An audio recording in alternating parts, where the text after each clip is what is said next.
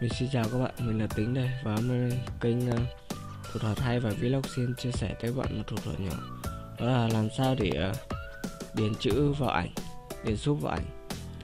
Thì uh, mình sẽ có một vài bức ảnh mà mình đã điền xúc từ trước uh, cho các bạn tham khảo. Đây giờ chính là cái bức ảnh mà mình đã điền điền chữ vào ảnh. Ờ, cái bức ảnh này thì mình đã làm một cái clip à, một cái video nhạc uhm. thì mình đã điền các cái um, chữ như này và mình gắn ghép nhạc vào. Thì um, ở đây thì mình còn có thêm một bức ảnh nữa cho các bạn tham khảo. Đó. Cũng khá là đẹp. Thì uh, tiếp theo nữa thì chúng ta cần vào cho mình cái phần mềm đó là text on photo. Cái phần mềm này thì uh, phần phía cuối video mình đã hướng dẫn các bạn à, cách tải về nha. Thì các bạn à, chưa biết thì các bạn có thể xuống xem tới hết video thì các bạn à, mở nó vào. À, à, các bạn xem mình tải về. Còn à, nếu mà các bạn đã biết rồi thì các bạn lên ch play để tải nó về nhé thì đầu tiên chúng ta cần vào thư viện. Ở đây có những mục ảnh nền thư viện ảnh của bạn. Thì mình thông thường mình sẽ vào thư viện để chọn bức ảnh mà mình muốn chỉnh sửa đó. Ờ, mình vào thư viện rồi thì chúng ta chọn vào bức ảnh nào đó mà chúng ta muốn uh, chỉnh sửa cái ảnh uh, điền xúc vào ảnh. Thì uh, mình sẽ vào cái ảnh này để điền xúc cho các bạn xem. Ở đây nó có những cái tỷ lệ là uh, cho các bạn lựa chọn là tỷ lệ 11 đó đó như vậy thì cái ảnh nó sẽ phóng to hơn và hai căn lề bên dưới bên trên là bằng nhau. Tỷ lệ 34 đó tỷ lệ uh, original là thông thường nhé. Tỷ lệ 32 tỷ lệ 169 thì uh, mình sẽ um, chọn original hoặc là cứ để nó thông thường cũng được. Mình sẽ ờ, để ở đây một chút đây để lan mình còn điền được súp nữa. Ok chúng ta ấn dấu tích vào đó. Sau khi uh, chúng ta uh, điền uh, dấu tích vào ấy, thì nó sẽ hiện ra cái uh, một cái ô nhỏ nhỏ ở đây thì để cho chúng ta điền số vào. Nó kêu là ấn hai lần để sửa. Thì chúng ta ấn hai lần vào để chỉnh sửa cái cái tên.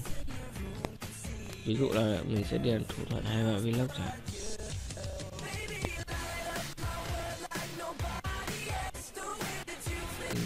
xong. Đó, ở đây là có những phần và thứ nhất là phần phông chữ, các bạn có thể chỉnh sửa. Đó. Có rất là nhiều các cái phông chữ mà các bạn có thể lựa chọn. Các bạn ấn vào cái ờ, cái hình ô vuông nhỏ nhỏ bên ờ, phải, cạnh dưới màn hình để phóng to thu nhỏ chữ. X là là xóa cái ờ, cái cái mục súp này đi, cái chữ mà chúng ta vừa mới viết ví dụ mà chúng ta ấn à, mình điền hỏng cái phông chữ này thì à, chúng ta ấn dấu x đi để viết lại chữ. Đó. Thì mình sẽ để ở trên này nhá.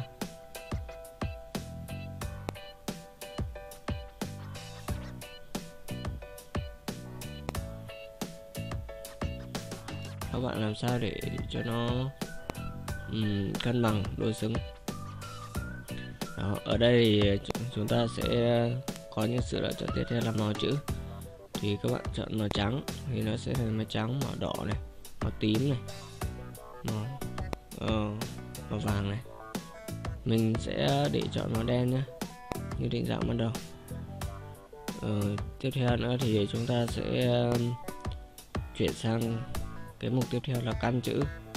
Thì căn chữ là lề trái giữa lề phải thì tùy thuộc vào cái nhu cầu của bạn căn chữ như thế nào để cho nó hợp lý các bạn có thể tự tìm hiểu thêm.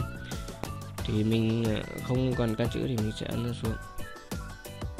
Chúng ta có tiếp là shadow có nghĩa là hình bóng.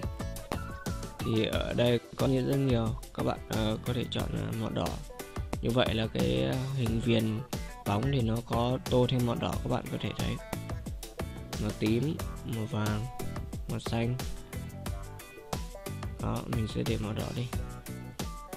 Ở tiếp theo nữa thì còn một cái nữa là neck. Cái này thì các bạn cũng có thể chọn được màu thì cũng là giống như cái viền mà nó còn độ sáng hơn cho chữ. Đó. Mình vẫn chọn màu đỏ. Sau khi chúng ta thấy ưng ý thì chúng ta ấn xong còn à, nếu mà các bạn à, vẫn à, muốn thêm chữ vào thì chúng ta ấn cái bút trên cùng có dấu cộng đây. Đó lại có một ô nhỏ nhỏ hiện ra chúng ta lại điền chữ vào và tiếp tục uh, chỉnh sửa như cũ. Thì uh, mình sẽ chỉnh sửa đó là cảm ơn các bạn. Bạn xem video.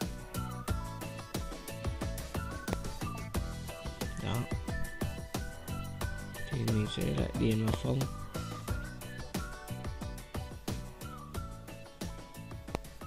mình sẽ ờ, để cho nó to to thêm một tí nữa. Đó.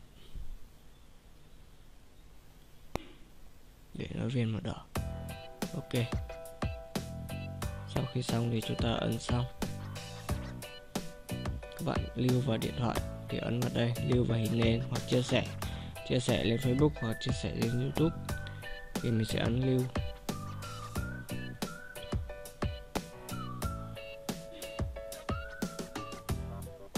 Để một lát thì nó loát cái quảng cáo thì chúng ta ấn x vào quảng cáo đi. Đó như vậy là đã được lưu xuống. Thì uh, mình sẽ hướng dẫn các bạn vào thư mục mặc định của cái video à cái ảnh này các bạn vừa mới chỉnh sửa xong thì chúng ta vào trên quản lý này. Mình sẽ ra, ra ngoài lại từ đầu để vào cái thư mục đó. Chúng ta kéo xuống.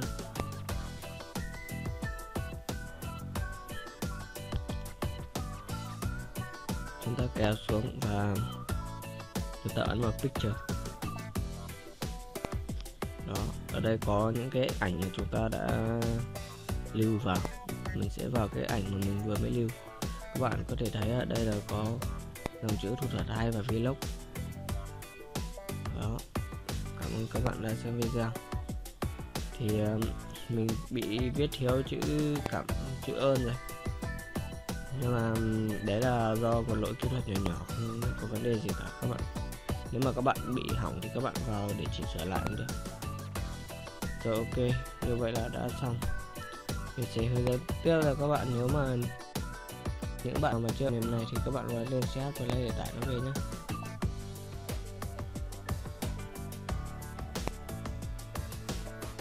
cái uh, điện thoại của mình nó mình chạy nhanh lắm rồi ok chúng ta sẽ tìm đó là chúng ta sẽ điền xúc phải như thế này.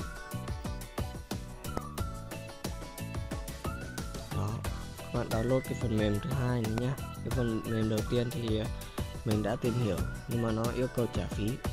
Mềm thứ hai thì hoàn toàn miễn phí cho các bạn sử dụng. Đó. Các bạn ấn cài đặt về để cài đặt nó ra ok như vậy là mình đã hướng dẫn xong các bạn cách tiết thêm giúp vào ảnh rồi nhé ờ, nếu mà các bạn hay hoặc uh, muốn ủng hộ mình thì xin ấn like đăng ký kênh để ủng hộ mình nhé xin chào và hẹn gặp lại.